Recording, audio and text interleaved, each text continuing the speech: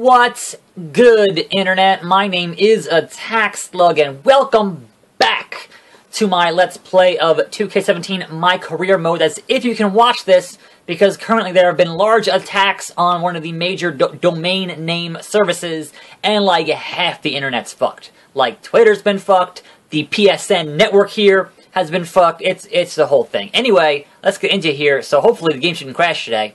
Because if the PS4 can't get onto its network, then there's no way it could possibly crash from trying to get to the 2K servers. Anyway, welcome to Friday, one-on-one with Luke Harper, yet again, uh, last week of June in 2016, heading towards Money in the Bank, I believe. After I finish today's matches, I can finally afford to buy the High Flyer ability, and that will be the return of the 5-star Slug Splash. But we'll get there. We'll get there. Authority Goal is an OMG moment. I don't own any, so it's just not to happen, Trips. Sorry, Mr. H's. So certainly I can't attack my rival because he is in this match. I mean, I can attack him out of the ring, but I can't go interrupt his match to attack him or cut a promo or something.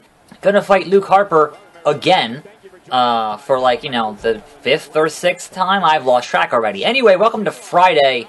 Besides half the goddamn internet being down, like Twitter and Reddit and PSN and PayPal and just a lot of, you know, kind of important websites are not functional at the moment.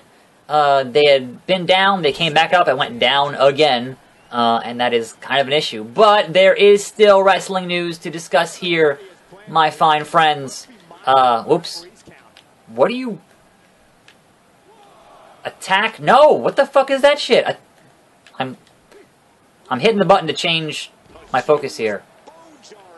And it's not... There we go. Have one of those. Right, no, roll up for some reason. Oh no, Luke Harper. I'm pretty sure I hit that R2, but apparently... Yeah, I did. Okay. I did. Boom! I kind of hit the lie detector there, but not really. Back in the ring. Anyway, uh, I did manage to... Uh-oh. Uh-oh. Cutscene. Cutscene is happening. Oh, Jaden Jet grabbing a leg. Now some massive distractions. Nope, now I get rolled up. You're out of here! Alright, well, so much for any more attacking of my actual rival. Are they getting rid of them both? Yeah, alright, sure. This is good now. I did manage to collect some wrestling news before the internet decided to, you know, completely shit the bed. Uh, and some of it was from, you know, last night. Principal of which being that AJ Styles is literally teasing on Twitter a match with the Heartbreak Kid, Shawn Michaels. Now, he posted, he, he retweeted or something and quoted in an image that some fan had made about him fighting HBK at the Rumble, which is in San Antonio, I believe. So, it's in the Alamodome.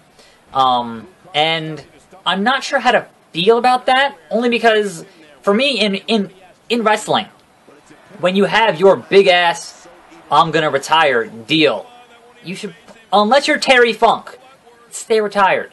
Like, you're only going to most likely tarnish your legacy. Like, I can't imagine anything that, that Goldberg does uh, next month will do anything to help his legacy as, you know, a wrestler. And certainly, when Ric Flair did his did his stuff in TNA after he already retired in WWE was not great. So, I'm not going to say, yeah, I mean, look, certainly Shawn, Shawn Michaels was tricked, was pranked, was ribbed into getting into ring shape uh, back at Mania this year for that thing with the, the League of Nations. Remember the League of Nations? Yeah. Um, because they told him that Austin and Foley were getting in, in, into ring shape. Didn't. Um, but that was real funny. But yeah, he was in ring shape for Mania, so I'm not to say he couldn't have a fucking stellar, five-star, amazing match in January. I'm sure he could. I'm sure he could have matches better than 95% of the guys on that roster right now. He's that damn good. One of the best ever. Certainly. I'm just saying, if you're to have your big ceremony and you're to have your Hall of Fame thing and your retirement, just leave it at that. Leave your stellar career at that, is all I'm saying. But again, if they actually book this match, sure, yeah, fine. Like, I am fucking psyched about it. I'm just saying from from the perspective of guys who should stay retired, stay retired. Like I don't see any value outside of you know putting more butts into seats to have one match. Like you know, it, it, it's one thing to be retired and then come back and keep going, like Terry Funk, that egg sucking dog. But other than that, like to come back for one match, like much like Goldberg, I'm not really sure, you know, what the point is outside of hey, we're gonna put you over a guy or we're, we're, we're, we're gonna have you come in like Sting and then just lose. You know, like I'm not sure what the the I'm not sure what the value in that is because a lot of the guys they lose to are guys that are already pretty old. So it's like, hey, we had Sting lose to Triple H, and Triple H not really a full time guy anymore to do wrestling. So you know. Anyway, anyway, uh, Fox has signed a a comedy wrestling project from The Rock um, for their network for a pilot uh, that would in, involve when when The Rock was first starting out and dealing with uh, head Raw the head Raw writer Brian Gewirtz. I think I think how you how you pronounce that. I can't recall, but yeah. So they have signed up for a pilot. Uh, it is like Will Ferrell's production company, but I don't think he's actually going to be in it. I think it's just the one, you know, the the the the the, the company he's in charge of is going to be doing that. Two, three. What the fuck, Luke Harper? Are you kidding me? Are you fucking kidding me? You are the first one in a long time to not to not lose. Like I hit two Salt Shaker 2.0s, and you're gonna kick out of that? Really? So yes, I'm looking forward to whatever the hell that, that thing is with The Rock. I'm looking forward to who the hell do they cast as Vince McMahon? That to me is going to be the most intriguing part. And how much like Vince are they actually going to act in that show? Because that sounds potentially hilarious. Potentially hilarious. Like, who do you cast, cast as all those backstage personalities? Because obviously they're all based on actual people because, you know, it's based on his early days in the business and, you know, the things he did backstage and, you know, all these larger than life characters and that kind of thing. So, uh, looking forward to that stuff. Um, but man, what? Anyway, Luke Harper, why won't you just fucking stay down? I don't understand. The game's still on normal, and he's giving me the hardest time in the world here. Like, am I supposed to lose this match? Is that is is that the idea? Because I don't want to lose this match. All right, once again, sunset flip power bomb, counter ref on his face. No, I have no stamina left. Luke Harper is getting up. I have no stamina left. How about a teardrop suplex? Two. Fuck, man. He has a finisher now. Luke Harper has a finisher. I don't know what his finisher is, but he has one. This is insane. This is, I'm just like, fuck you, stay down. Why won't you stay down? This is, this, this is unreal, Lawler. This is unreal. I should be done by now. I should have put away Luke Harper by now. This makes no fucking sense. Roll him up. Counter ref. Out of position. Out of position. Fuck, man. Why won't you stay down? Really? Stay down.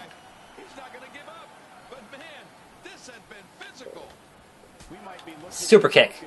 Super kick city. No, go to the fucking top rope. Go to the... God damn it. I have stamina. Go to the top rope. Don't be an asshole about it. Come on now. Come on, Neil. Just hitting it again.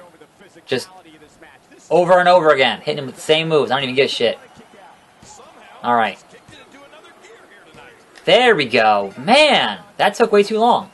Why all of a sudden Luke Harper putting up a huge fight for me makes no fucking sense. It really makes no sense. Get out of my ring. What the fuck was that? I glitched. What the fuck was that? What the fuck was that? Holy shit. I'm looking forward to that first patch because, man, they got a lot of fucking work to do here. A lot of work to do. Next up, we have this triple threat match between myself, Chris Jericho, and Finn Balor on SmackDown. The Authority goal is red body health. That might happen. Maybe. We'll see. Alright, so this should be the first uh, match here in uh, my career where I'm dealing with the rollout system. Um, which should make things a little bit easier, a little bit less of a clusterfuck uh, environment here in this triple threat. We'll see. Anyway, continuing, Chris Jericho just like, nope. He's just, just chilling. Just chilling. Um, oh crap. Ah crap. Let my guard down. Damn you, Jericho. Um, anyway, there was uh, some other, I guess, news. I reversed that. Fuck you, I reversed that. Um, some other news tidbits. Uh, one of which being that the original plan for NXT Toronto was Trish Stratus, not Mickie James. Uh, and that makes a lot more sense being in Toronto, but apparently she was pregnant, so that wasn't going to happen. Uh, it's the kind of thing you would have perhaps should, should, would or should have known about before you even thought about booking it in the first place. But you know, these things happen. So, in any event, that that should that, that should still be an excellent match. So I'm looking forward to seeing that. I suppose. Uh, anyway, Finn Balor just no, boom, right in the face. Not cool, Finn Balor. Not cool. And I suppose finally, uh, I keep missing my fucking jumping thing here. Oh, I shouldn't have taunted there. It was wrong. It was bad. Sling blade. Bad idea. Um, Jericho rolls out. I hit the suplexes, and we're and we're doing good here. So, going to the top. Going to the top. Five stars. No, that was the elbow. That was the elbow. What the hell was that? Going back to the top. Five star slug splash. It's too early, but but but still, but still. Um, the other thing I had to, to discuss here was that uh, apparently James Ellsworth's T-shirt was the number one seller at Shop Zone at the, at the at the fucking shop, like above everybody else, like Goldberg and Roman Reigns and everybody else, which is real funny when you think about it.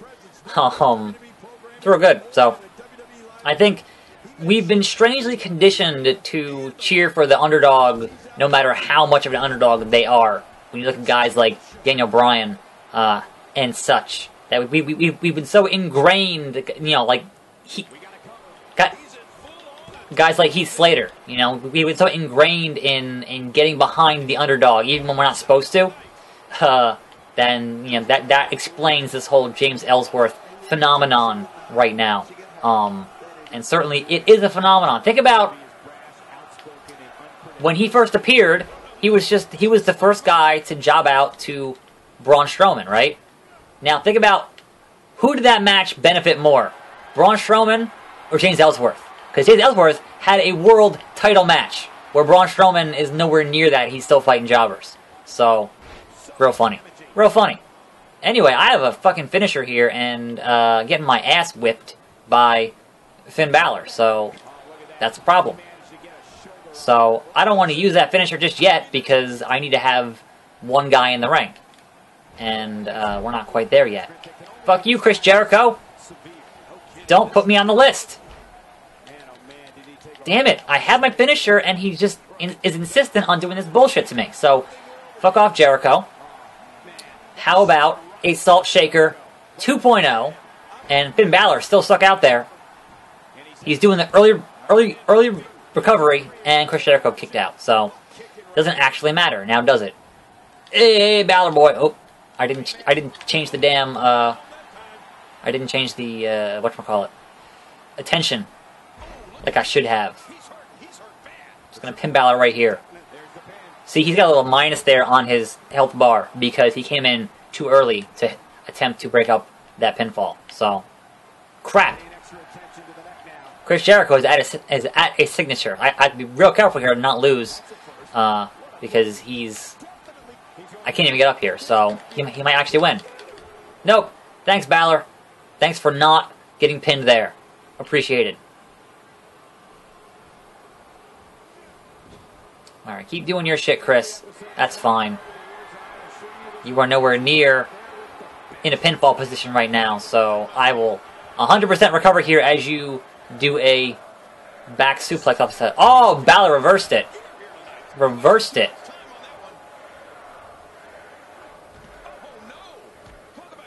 I didn't mean to do that. On to Jericho, holy shit. What? I'm fired up. Uh, yeah. Alright, well, that was not the position that I wanted to be in, but, you know, is what it is. Playing to the crowd. Playing to the crowd. Okay, now, you would think... Damn it. You would think if I could hit the, um... Code Breaker! Ah, fuck. Ref's out of position. Way out of position. Fuck! Lost to Jericho. Well, he is the best in the world what he does, so... I could have had that. I feel like I could have had that and Chris Jericho just with the code breaker, that was all she wrote there, so what are you gonna do? I had a signature. It could have happened. And the wily veteran Chris Jericho pulls it off. At least I got my authority goal complete. Anyway, that will do it for today. Hopefully the internet is back tomorrow. Uh, we are here. It is a two-on-two 2 tag team match. I haven't checked the rankings on the tag team titles in a little while, but you would assume it would be the Dudleys and Harper and Rowan, right? But then I just went here and looked, and it's not. The game managed to completely fuck that part of it up, and it's Eric Rowan and D-Von Dudley and Bubba Ray and Luke Harper. Now it all makes way more sense. It all makes way more sense why Luke Harper is doing this. But why, in the blue hell, would this game decide the tag teams weren't actually tag teams? Like, fix your shit, 2K. Come on. Anyway, tomorrow, Money in the Bank, hopefully going to increase our ranking, finish this rivalry, and then go after the tag team champions. I'm Attack Slug. Thanks for watching. More videos every day. And I'll see you next time right here on this channel. And I'm out!